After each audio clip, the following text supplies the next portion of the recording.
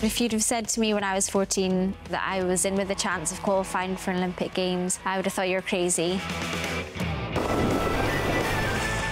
She's cool. She's very cool. She's tenacious. Her desire to learn, to be the best, is really what sets her apart.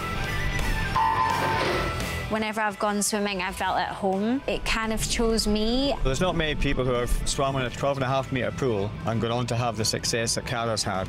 She is not afraid of doing hard work.